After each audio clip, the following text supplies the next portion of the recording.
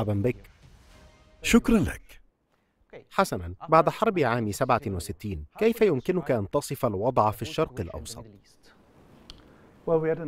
حسنا. كان لدينا وضع متفجر وعالق بطريقة ما بين السلام والحرب ويمكن أن يتصاعد في أي لحظة. وبالطبع هذا الوضع كان شديد الضرر بالاقتصاد المصري. لأنه لا يمكن استغلال قناة السويس كمصدر مهم للدخل لمصر. وكان الكل قلقا لأن الشرق الأوسط هو بالطبع مكان تواجد النفط الذي يغذي الاقتصاد الغربي كله. لذلك لم تكن مجرد مشكلة لمصر وإسرائيل فحسب بل كانت مشكلة كبرى بالنسبة إلى العالم الغربي كله. هل كان هناك أي مؤشرات على أن المصريين سيحاربون؟ العكس صحيح بالنظر إلى ما حدث في عام 67 فلم يكن الكثير متوقعا ومن هذا المنطلق لم يكن أحد يشعر بتوتر كبير إلا أن الموقف نفسه كان مشتعلا إذا حاولت محاكاة عقلية الرئيس السادات وفكره عندما كان يخطط للحرب فما الخطوات الرئيسية التي يمكنك استنتاجها من خطته كاملة؟ كان شجاعا للغاية وهذا شيء لا بد من قوله عندما أنظر للأمر. وعندما تنظر إلى الموقف الإسرائيلي تجد أنه من حيث المبدأ كان هناك إما خيار لحرب كاملة وإما التناسي وترك الوضع عالقا بين السلام والحرب. ولم يكن أحد يفكر في خيار ثالث. لكن الرئيس السادات فعل. هو وحده فكر في الحرب المحدودة التي تبدو في أعقاب ما حدث. رؤية مثيرة للإعجاب حقا على الرغم من أنها كانت خطوة كبيرة ومحفوفة بالمخاطر ولكنها كانت تهدف إلى التوصل إلى السلام والانتقال إلى وضع أفضل كثيرا ولذلك لا بد للكل أن يكون معجبا بحكمته هل يوجد في المعاجم العسكرية شيء يسمى الحرب المحدودة؟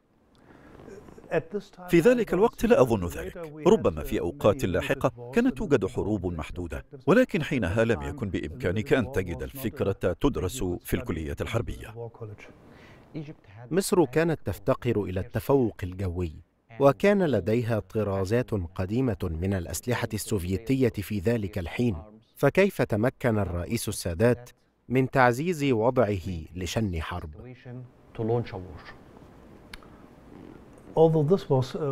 على الرغم من أن هذا كان تحديا كبيرا فإن الجانب المشرق هو أن السوفييت كانوا يدعمون مصر. في حين أن الولايات المتحدة الأمريكية دعمت إسرائيل. كلتا الدولتين كان لهما داعم قوي. وعندما أفكر في تجربتي الخاصة بعد انتهاء الحرب الباردة أذكر أننا فوجئنا في الغرب بمدى تميز هذه المعدات الشرقية.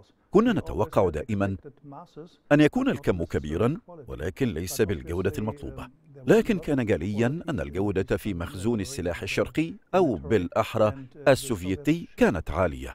والسوفييت تشاركوها مع مصر. ولا بد أن الرئيس السادات كان على علم بهذا وأنه كان في أمس الحاجة إلى التميز في الدفاع الجوي لأن التفوق الجوي لإسرائيل يمكنه أن يقضي على أي تقدم للجيش المصري. وإذا لم يتمكن من حل مشكلة الدفاع الجوي فلم يكن هناك أي وسيلة لشن الحرب. لكن الجانب الإسرائيلي كان مجهزا بمركبات وطائرات أمريكية حديثة. كيف تمكن الرئيس السادات من مهاجمة الجانب الإسرائيلي وهو صاحب التفوق في هذا الجانب؟ فقد كانت له الأفضلية على كل المستويات. كان العنصر الرئيس هو المفاجأة ولهذا يمكنك أن ترى لاحقا في الحرب أنه بعد انتهاء عنصر المفاجأة أصبح تحقيق النجاح أمرا أكثر صعوبة. إذ كان السبب هو عنصر المفاجأة. الشيء الآخر هو شيء مثير للاهتمام وهو ما تراه اليوم في حرب أوكرانيا وهو أنه إذا كان لديك دفاع جوي متميز فمن الصعب على المهاجم أن ينجح. وعندما تنظر إلى الأيام الأولى من الحرب تجد أن جودة وكثافة الدفاع الجوي على الجانب المصري فاجأت الإسرائيليين. فهم لم يتوقعوا أن يكون بهذا القدر من المهارة والفاعلية. ولهذا كان عليهم أن يبتكروا خططا جديدة ومستحدثة للتغلب على هذه المشكلة. رغم أن التغطية كانت على 12 إلى 14 كيلومترا أنت بحاجة إلى تلك التغطية العسكرية لأن هذا هو نطاق تواجد قواتك. عندما تنظر إلى التفوق الجوي تجده في جميع النواحي اليوم ويشمل الفضاء والطائرات التي تطير على ارتفاعات شاهقة وغيرها وصولا إلى أرض المعركة.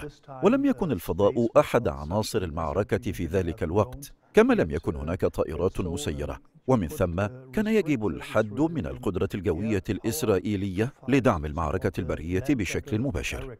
كانت تلك مفاجأة للإسرائيليين وجزء منها أيضا كان في أن المصريين كانوا يقولون دائما إن المعدات الروسية رديئة وسيئة.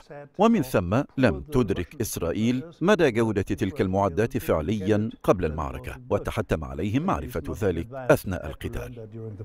لتحقيق المفاجأة لا بد من الخداع. كيف نفذت خطة الخداع المصرية على أرض الواقع؟ هذا يتحقق مع التفكير الكثير بشكل مسبق وهذا الأمر يحتاج لوجود استراتيجية فاعلة ولتنفيذها لا بد من تدريب الأفراد وأن تكون محظوظا لأن الواقع يختلف عن الخطط. لذلك في هذه الحالة اقترحوا أنهم سيقومون بالتدريب وسيسرحون الجنود ولكن هؤلاء الجنود كانوا يعودون في الليل. فرأى الإسرائيليون أن هؤلاء الجنود قد غادروا ولكنهم عادوا مرة أخرى. وكذلك المعدات التي أوحت مصر بأنها ليست على المستوى المطلوب لكن في الواقع كانت جيدة جدا وقد تدرب الجنود عليها جيدا. ثم يأتي العنصر الآخر وهو الانضباط. فالجنود غير المنضبطين ليسوا ذوي فائدة لأن عليك الوثوق بأنهم سيكونون حيث ينبغي أن يكونوا وأنهم سيفعلون ما يجب عليهم فعله في الوقت المطلوب. وهذا لا يحدث تلقائيا ولا بد من التدريب المستمر لتصل إلى تلك المرحلة. الجندي المصري عام 67 ليس هو نفسه في 73 تغير بشكل كبير وبشكل ما لا بد أن يعود الفضل في ذلك إلى القيادة المصرية لأن هذا لا يحدث بالصدفة. ولكن لا بد من وجود شخص صادق يقول إننا لسنا جيدين. ومن ثم يجب أن يكون لديه خطة جيدة توضح كيف تصبح أفضل. ثم يجب أن يتم التدريب على تلك الخطة. وبعد ذلك بالطبع يجب تحفيز الجنود لأن كل فرد يجب أن يمتثل وأن يكون راغبا. وتحفيز الفرد مهمة صعبة تتطلب الإيمان بما تفعله والثقة في قيادتك. وكل ذلك شيء شديد التعقيد في بنائه. إذا كنت ستخوض حربا كهذه فما التدريبات التي تطلب من جنودك تنفيذها؟ بداية على كل فرد أن يتقن عمله الأساسي. بمعنى أن فرد المظلات وفرد المشاة وفرد المدفعية والمدرعات عليهم أن يتقنوا عملهم. ثم تصل بعد ذلك إلى موقف يتشابه مع رقصة الباليه. لأن كل تلك العناصر عليها أن تعمل معا بشكل متداخل وشديد البراعة. ولنضرب مثلا بالأوركسترا التي يعزف فيها كل عازف على آلة موسيقية مختلفة. وكل النغمات تخرج بشكل صحيح وفي اللحظة المناسبة. وهذا ما يحدث بالتدريب الناجح. وبالطبع أفضل مثال تحديدا هو عبور قناة السويس الذي كان التحدي الرئيس في البداية وهي بالفعل مانع هائل. وبالنظر إلى أوكرانيا اليوم وما تفعله القوات الأوكرانية والروسية من مجهودات مضنية لعبور الموانع المائية ندرك أن ما حدث كان شيئا مذهلا في مواجهة العدو في حرب أكتوبر.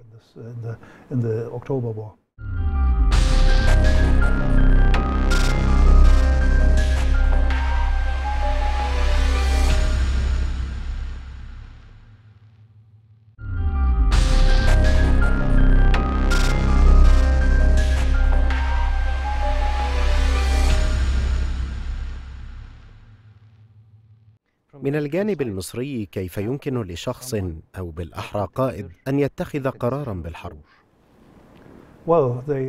لقد حدد لهم الزعيم السياسي الهدف وهذه هي الطريقة التي يتم العمل بها في الحكومة بحيث يملي عليك زعيمك السياسي ما يجب عليك فعله. وهذا يستدعي وجود قيادة موهوبة تفهم مهمتها وتعرف ما يمكن أن يفعله الجندي وتعطي الأوامر الصحيحة.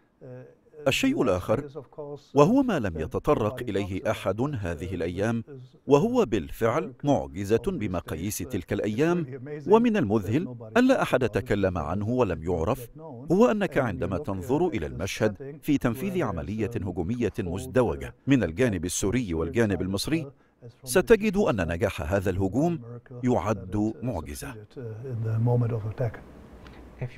لو حاولت تقليد ما في ذهن الرئيس السادات فماذا تكون الخطة؟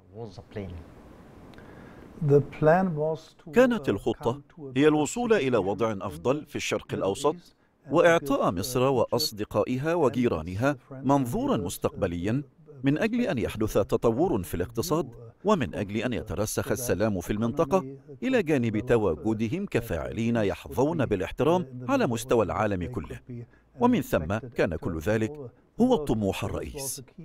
ولكن السؤال الذي يتوقف عليه كل شيء دائما هو أي خطة تعد جيدة؟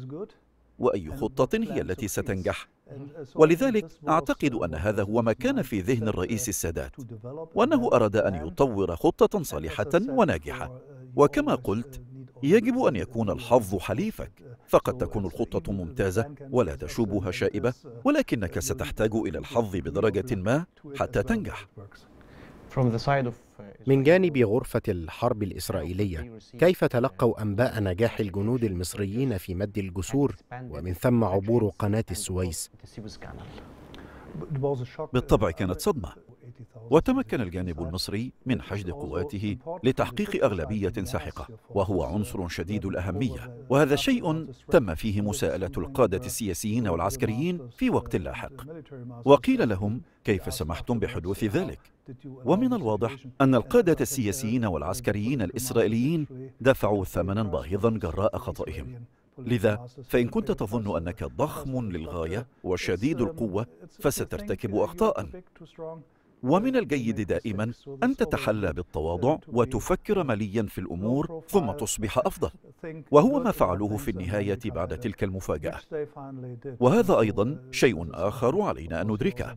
لكن الخطوة الاستراتيجية السياسية الكبيرة كانت هي تلك الخطوة التي اتخذها الرئيس السادات. من الجانب الإسرائيلي كيف تلقى من في غرفة الحرب نبأ يفيد بأن المصريين شنوا هجوما بخمس فرق على التوازي. هذا شيء كارثي.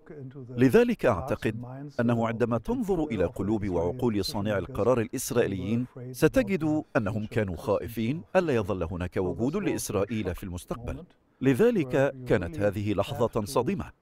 عليك فيها أن تظهر كل ما لديك من الخبرة والإبداع والتحفيز وخفة الحركة لتتخطى تلك الصدمة. وفي الأيام الأولى للمعركة لم تسر الأمور بشكل مواتن وخاصة في اليومين الأولين الكارثيين على الجانب الإسرائيلي. وكان عليهم الاستمرار في الابتكار وإعادة التجميع لتعويض الخسائر الفادحة. ما أكثر ما صدم القيادة الإسرائيلية؟ الدفاع الجوي إلى جانب صدمة المفاجأة التي تعني أن الاستخبارات لم تؤدي عملها. وحقيقة فإن القيادة كانت متهاونة للغاية في مسؤولياتها تجاه الدولة وكانت هاتان هما الصدمتين اللتين عرفناهما بشكل أني ولكن الصدمة الحقيقية كانت في فعالية الدفاع الجوي للجانب المصري وفي المقدمة الأسلحة المضادة للدبابات التي أحدثت بدورها خسائر كبيرة في تشكيلات الدبابات الإسرائيلية. وكانت تلك مشكلة عويصة للغاية في تلك اللحظة وكان عليهم البحث عن طرق تكتيكية جديدة للتعامل مع الموقف وإعادة تفوقهم الجوي الهام لفعالياته المعهودة وكان ذلك تحديا. ذكرت الاستخبارات في حديثك وحتى يومنا هذا توجد مشكلة كبيرة داخل إسرائيل بشأن تسافي زمير. رئيس جهاز الموساد وإلي زعيرة مدير الاستخبارات العسكرية الإسرائيلية أمان كيف تفهم أو تحلل فشل الاستخبارات من الجانب الإسرائيلي؟ كانوا لا يزالون منتشين من نجاحهم في عام 1967 لأنه عندما تنظر الآن إلى جميع أجهزة الاستخبارات في العالم فالاستخبارات الإسرائيلية بارزة لذلك فإحساسي هو أنهم تعلموا الدرس جيدا. ولكن إذا كنت مغترا بنفسك بصورة مبالغ فيها فإن ذلك سيقودك إلى الفشل. وهذا درس لأي مكان في العالم وليس هنا فقط. ولكن على الجانب الآخر إذا كنت تحترم عدوك كما فعل الجانب المصري وخططت بحرص فستؤدي بشكل أفضل كثيرا. وهذا هو الجانب الآخر للعملة. حسنا. هاجمت مصر بخمس فرق بالتوازي وبالتعاون مع القوات السورية التي هاجمت من مرتفعات الجولان وأيضا في منتصف النهار وهو ليس توقيتا عاديا لشن حرب وتم إغلاق مضيق باب المندب وكان الموقف برمته معقدا كيف تعامل الجيش الإسرائيلي مع كل هذه التعقيدات في الوقت نفسه؟ أحد العناصر كان الحافز حيث إن عناصر الاحتياط الإسرائيلية سارعت بالعودة في سيارات خاصة إلى الجبهة. وكانت هناك محاولات من بعض القوات أو بالأحرى من أعداد صغيرة من أفراد الجيش الإسرائيلي لمهاجمة القوات المصرية المتقدمة في محاولة لإيقافها. لكنني أعتقد أنهم نجحوا في الجولان على الجانب السوري. ومع مرور الوقت كان عليهم أن يتقبلوا بعض الخسائر الكثيرة لأن المحاولات الأولى كانت لاستخدام القوات الجوية ولكنها لم تنجح بسبب الدفاع الجوي المصري.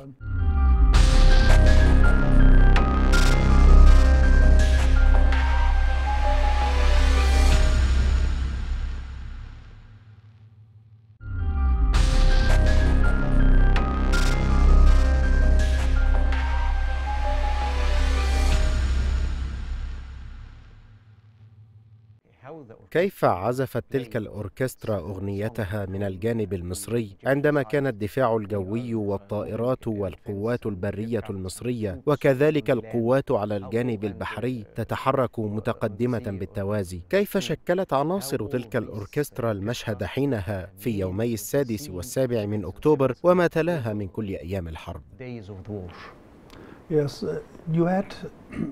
نعم كان كان ذلك بسبب من وجهة نظري وجود الدافع والتفاني يصبح الجيش عديم الفائدة بدون جنود أكفاء تكون أولى سماتهم وقبل كل شيء هي المعنويات العالية والانضباط.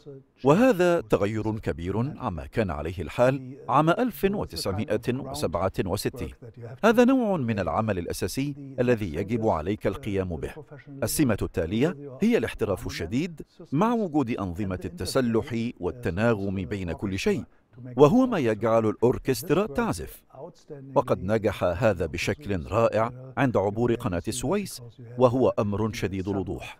فقد كان هنالك الهجوم المفاجئ وبجانبه القصف المدفعي إضافة إلى كبار العبور فوق المياه. لذا فإن كل هذا التفاعل والتناغم كان جيدا للغاية. واستمر بشكل جيد مع مد رؤوس الكباري عند الضفة الأخرى من القناة. وكان هذا جزءا يستحق الثناء ويجلب الاحترام الاحترافي الذي حصلتم عليه. ولكن المشكلة بدأت مع التوغل الزائد. أما بالنسبة للأيام التالية خلال الحرب فأود أن أشير إلى قرب نهاية الحرب حيث ستجد تلك المعركة المدهشة بالقرب من الإسماعيلية حيث كان أداء المظليين المصريين والمشاة والقوات الأخرى جيدا بل أكثر من رائع وهذا أيضا جلب لكم الكثير من الاحترام من الجانب الإسرائيلي حسنا بالنسبة لحروب الصحراء التي وقعت في مصر خلال الحرب العالمية الثانية هل تعتقد أن القادة المصريين قد استفادوا من هذا النمط من الحروب وهذه التقنيات؟ نعم إلى حد ما لأن قدرات القائد وإبداعاته وأصالة قيادته تأتي من دراسة الحروب وتعلم كيف تحققت الانتصارات أو كيف وقعت الهزائم الأخرى وما يمكن للقائد أن يختاره بنفسه من أجل تقييمه بشكل ملموس. وعندما تنظر مثلا إلى القائد العسكري روميل تجد أن نجاحه لم يكن فقط باعتماده على قوات قليلة العدد أمام قوات أكثر عددا. ولكن كان بسبب قدرته على المناورة بالقوات والتحليل الممتاز للخصوم سواء لنقاط قوته أو تحصيناته وكل الأشياء الأخرى التي كان يدرسها إضافة إلى تحركاته العملياتية المبتكرة والذكية. وعندما تنظر إلى كل ذلك بشكل مجرد ستجد أن هذا هو ما حدث مع القيادة العسكرية المصرية أثناء الحرب وقضاؤها شهورا عدة في الإعداد والتحضير. وأعتقد أن رومل لو كان حاضرا لابتسم ثناء في الأكاديميات العسكرية الغربية وخاصة في ألمانيا كيف كيف ينظرون إلى حرب أكتوبر؟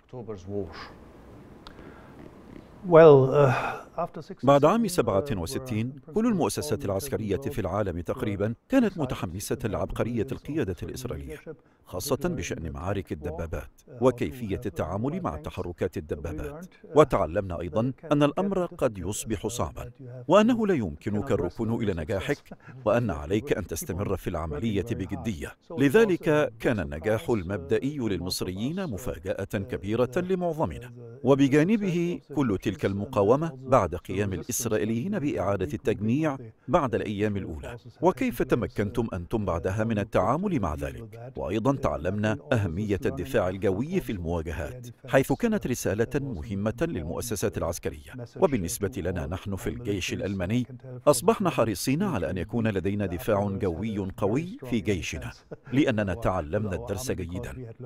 وفي الحقيقة نحن تعلمنا من النجاح المصري في هذه الحالة. كل عمل عسكري يمهد الطريق لتوجه سياسي أو لقرار سياسي. فهل تعتقد أن مصر حققت الغرض المرجو من الحرب الهدف السياسي للحرب؟ دعني أقولها لك بهذه الطريقة. لا يمكن أن تعرف الغرض بالضبط. ولا يوجد أحد يمكنه قراءة ما في ذهن الرئيس السادات بالضبط. ولكننا سمعنا ما يقوله الناس فقط. وما قاله هو بنفسه عن تلك الحرب. ولكن من حيث المبدأ يمكنك أن ترى أنه لم يكن يريد تلك الحرب الشاملة مع إسرائيل ولم يكن يريد استمرار ذلك الوضع البائس الذي ساد حينها. ولهذا فقد نفذ بذكاء ما يمكن أن تتوقعه من زعيم سياسي من تقديم خطة للتغلب على الوضع الراهن. وعندما تفهمها وتعرف أن نجاحها هو المهم تجده قد حقق نجاحا بالفعل. ومن ثم كانت الخطة جيدة ومن ثم فهو رجل حكيم. بالنسبة لمعركة الإسماعيلية هل لديك شيء مميز بشأن تلك المعركة؟ بعد هذه المعركة انتهت الحرب فعليا بوقف إطلاق النار وجاء اتفاق السلام لاحقا. والمثير للاهتمام هو كيفية انتهائها. فبعدما حاولت إسرائيل عدة مرات محاصرة الجيش الثاني المصري ولم تنجح بسبب شجاعة المظليين المصريين وعدد من عناصر الصاعقة التي استمرت حتى اللحظة التي انتهت فيها الحرب. وبعد إعلان وقف إطلاق النار كان بعض القتال لا يزال مستمرا. والشيء المثير للإعجاب أن هؤلاء من كلا الجانبين سواء الإسرائيليون أو المصريون الذين خاضوا تلك المعركة الصعبة كانوا أول من أصبحوا واسمحوا لي أن أقول ليسوا أصدقاء ولكنهم تشاركوا الخبز معا وقدموا نوعا من الرؤية الفردية التي تقول إن السلام بينهما ممكن. ففي الوقت الذي كان فيه آخرون لا يزالون يطلقون النار توقفوا هم وقالوا أدينا عملنا بشكل جيد والآن انتهت الحرب. وأعتقد أن هذه رسالة ممتازة.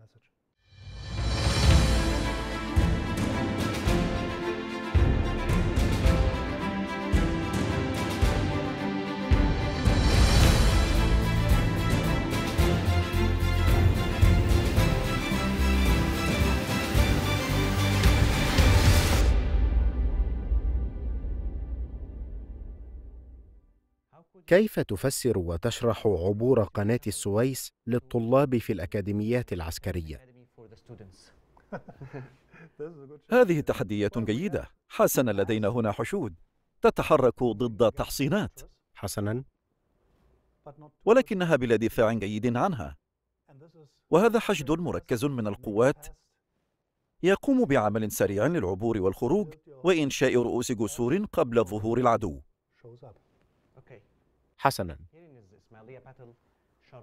هنا في معركة الإسماعيلية حاول كل من شارون وأدان وماندلر تطويق الجيش الثاني المصري. صحيح. كيف قاموا بتنفيذ هذا التكتيك؟ حسنا لدينا هنا احترافية كبيرة وهو ما يثير إعجابنا حتى اليوم وليس بالضرورة كل الناس لأن من فعلوا ذلك في النهاية ما هم إلا بشر. حسنا. لكن نفس هؤلاء الناس يتعلمون من تلك التكتيكات حيث إنهم نفذوا ذلك باحترافية عالية ضد جنود مدربين تدريبا جيدا كانوا في السابق جنودا يائسين. يجب أن ترى أن مصر جاءت من اللاشيء في 67 إلى مكانة ما في 73 أما هؤلاء الرجال الإسرائيليين فقد كانوا بالفعل في القمة منذ 20 عاما مضت. وهذا هو السبب في الإعجاب بالنصر الذي حققه المصريون في البداية. لكن المشكلة هي أن هناك من يتحرك بسرعة عالية في ظل تفوق جوي تمكن من خلاله أن يخطف التفوق. وفي ظل وجود جسر من الدعم اللوجستي ودعم بالقوات. وطبعا التدخل وسارت الأمور حتى انتهائها. وصور الأمريكيون الجبهة بالأقمار الصناعية بالضبط. وأمدوهم بالمعلومات. نعم ومع تحسن المعلومات حصلوا على الدعم. ولديك هنا في المؤخرة ما يسمى بمناطق عنق الزجاجة.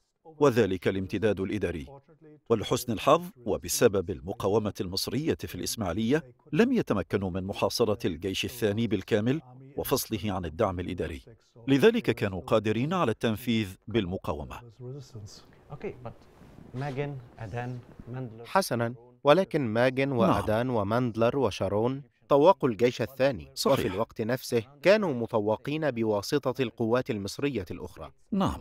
إذا كان تطويقا داخل تطويق. نعم كان تطويقا بداخل تطويق. أستأذنك في الانتقال نحو هذا النموذج المصغر لنحاول ترجمة إنشاء رؤوس الجسور. كيف يمكنك وصف وتحليل إنشاء رؤوس الجسور من الجانب المصري؟ التحدي للجانب المصري كان الاستعداد بدون أن يلاحظهم أحد بغرض عبور قناة السويس بسرعة وحتى هذه المرحلة. كانت هناك مفاجأتان للجانب الإسرائيلي. أولاهما كانت الكباري العائمة وبنيت بشكل إبداعي وهي مخصصة لهذا الغرض. والمفاجأة الثانية كانت المركبات البرمائية التي حصلوا عليها من السوفييت والتي ثبتت فاعليتها الكبيرة وسرعتها وجودتها. وما حدث هو أن عبرت هذه الحشود القناة واستطاعت إنشاء رؤوس جسور للقوات المسلحة المصرية. والإسرائيليون كانوا موجودين في التحصينات لكنهم كانوا في انتظار تجمع القوات التي ستشارك في القتال ولكنهم لم يتمكنوا من اختراق رؤوس الجسور لأنها كانت قوية للغاية وكان كل القوات المصرية كاملة وفي مواقعها. ولقد عملوا بتناغم جيد مع المدفعية وبدعم من الدفاع الجوي ولذلك كانت هناك خسائر في الدبابات وخسائر كبيرة في الطائرات على الجانب الإسرائيلي. اليوم إذا كنت تحاول تدريب قوات لإنشاء رؤوس واستخدام قوارب للعبور من الجانب الغربي للجانب الشرقي للقناة. أجل. كم من الشهور والأعوام يستلزم الأمر ليتقنوا القيام بذلك في أقل من ست ساعات؟ من حيث المبدأ تحتاج إلى سنتين لتدريب وتعليم تلك القوات للقيام بذلك. والمشكلة هي أن ذلك لن يتم إلا بوجود خسائر سواء كان ذلك الآن أو في ذلك الوقت. إذا هي مهمة دموية ينبغي أن تتعلم فيها أن عليك أن تتقدم على الرغم من موت زميلك الموجود إلى جوارك من أجل تحقيق المهمة. وهذه قضية تتعلق بالتحفيز وبالتدريب المحترف أيضاً.